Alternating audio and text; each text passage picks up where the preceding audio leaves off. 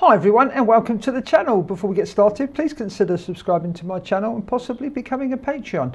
Now in this video, I'm going to show you how to stake a standard model, add two channels for your flaps and also incorporate the um, feature in where the uh, flaps would actuate very slowly. So we're going to have a look at uh, EdgeTX Companion and then we're going to switch over to the radio. So let's go and have a look.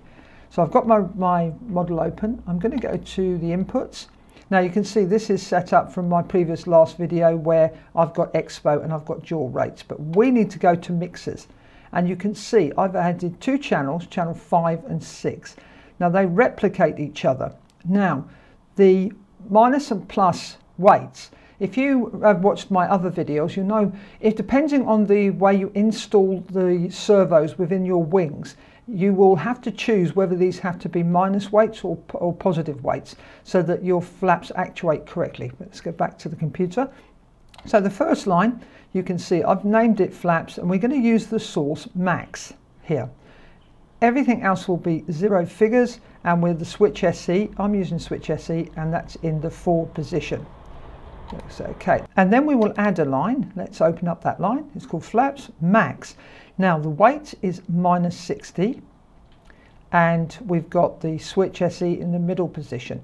Now we've got the delay here. You can see we've got delay or slow. So I'm slowing those the um, servos down. So I put two seconds and two seconds for up and down. Then we go to our second line, which you can see it's, uh, the source is max. We've put 80% now to get full flap. We've got offset zero, our curve is zero, and our switch SE in the back position. And you can see here I've set up two seconds for the how slow this servo operates. Now that is everything. I should be able to demonstrate this for you so you can hopefully see this working. Let's click here and the channel monitors. So we use Twitch Switch SE. There we go. You can see if you look at channel 5 and 6, they are slowly going up and down. Now let's switch over to the radio and I will show you the settings there. So now let's take a look at the settings on the radio for adding two channels with flaps and using the snail mode. We are going to go to model settings and we're going to go to our mixes and we're going to scroll down and you can see we've got channel 5 and channel 6. Now this one is a mirror of channel 5, except for your mixes could be um, a minus figure or a plus figure, as you can see there. But we're just going to have a look at the first channel, number 5. Let's tap that and edit it. And you can see our source is max, weight, offset, and curve 0, but switch SE in the forward position. Now we can return. We'll go to our second flap, which is 60%. And you can see here our source is max, our weight is minus 60%, and we have got zero offset and zero curve. We have got the switch SE in the middle position, and we've added two seconds of slow and uh, slow down and slow up.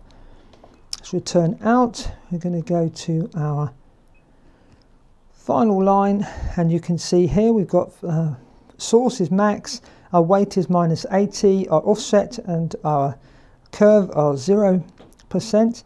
I'll switch in the SE in the back position and you can see there are we've set up the slow up and down with two seconds. So let's get back out. Now let's demonstrate this working. We're going to bring up the channel monitors and you can see our flap switch here. There's the flaps coming down half and coming down slowly and full. Thanks for watching this video and if you enjoyed it please give it a thumbs up and if you didn't give it a thumbs down. If you have any comments or questions please leave them in the comment section below because I'd love to hear from you. And if you have any requests about uh, EdgeTX please leave them in the comment section below. Thanks for watching. Happy flying. Bye for now.